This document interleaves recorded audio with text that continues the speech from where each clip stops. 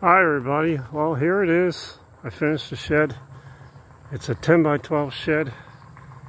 Not bad looking. And uh, it should hold a lot.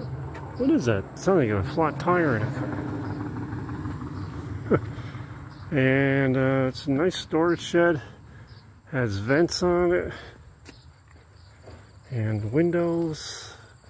It's braced up for snow conditions. Look at the windows, isn't that neat? Vents in the back. I gotta say, this thing was difficult to build, and it says, the manual says three to four people to build it. Yeah, yep. But I did it. So let's go inside. It's got a nice locking latch here and uh, very roomy and, and over here it has pull down latches. Just pull them down and lock. If you wanted to it got the patience and the time to build the shed. It's a nice shed. There's inside here.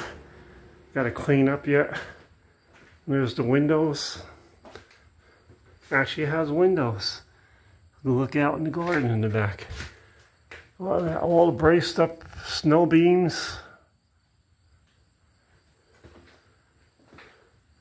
Locks up nice. Look, here's the inside vents right here. Let's see what it looks like inside here. Shut the doors.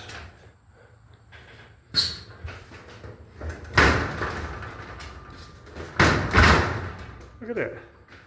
Because it's got windows, you got light in here.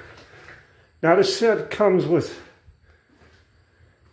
two clear sheets, roofing sheets here, but I didn't use them because I don't want anything coming in melting in the sun.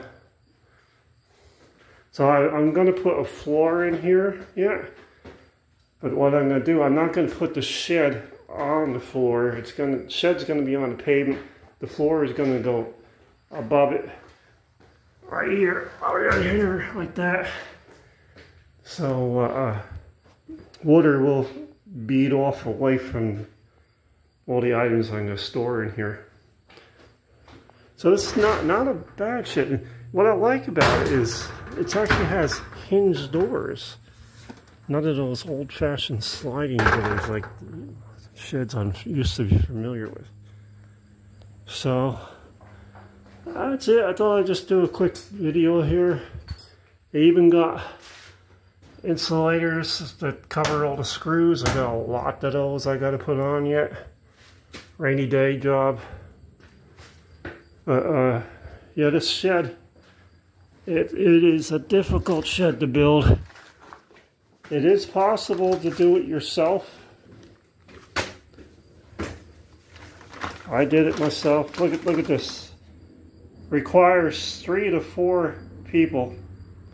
Seven to ten hours constantly. No, it, it takes longer than seven to ten hours.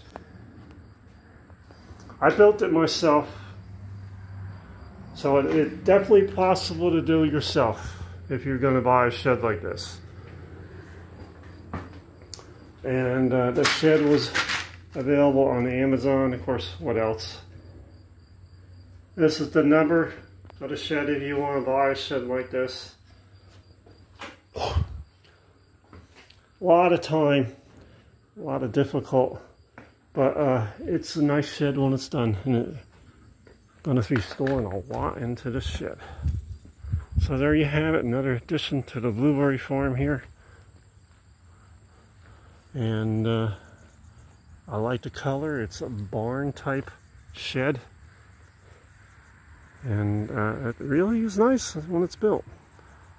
But prepare yourself if you're going to get a shed like this. This is not an easy uh, thing to build. Alright buddy I thought I'd just share this video what's going on in Blueberry Farm. And uh, this is nice. It's like a little house. You could actually live in it. One one person living in a house like this watertight. So Everything's numbered. If you don't go according to the manual, building it piece by piece as the manual says, you'll never get it built. You have to build it according to the manual. All right. Hope you enjoyed this little what's going on on the blueberry farm here. Please like, share, and subscribe, everybody, and stop by again. Bye.